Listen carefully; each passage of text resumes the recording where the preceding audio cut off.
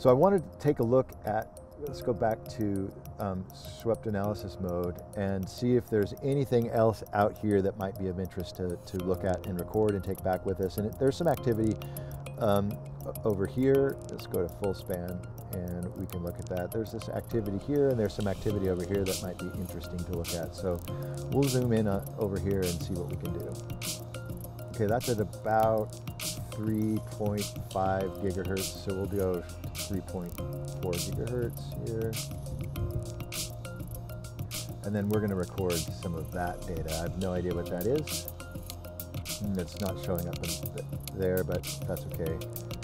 Uh, we're going to go ahead and just record. It's 2.62 gigahertz, 40 megasamples per second, and 27 megahertz bandwidth.